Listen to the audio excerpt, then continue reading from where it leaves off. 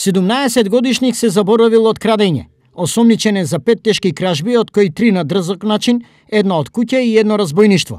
Малолетникот е познат на полицијата по своите недела. И досега против него се поднесени повеќе кривични пријави до надлежното обвинителство. Ова е дел од девете тешки кражби што само за два дена штипската полиција ги расветли. Останатите се тешки кражби од продавница и комбе. За последното недело осомничени се пет минасторители на возраст од 17 до 31 година. Секторот за внатрешни работи Штип работи на целосно комплетирање и документирање на кривично-правните настани, пошто до надлежното обвинителство ќе бидат поднесени кривични пријави. Надлежните од секторот за внатрешни работи од Штип интензивно работат и на други случаи на извршени кривични дела од повеќе сфери на криминогени действија.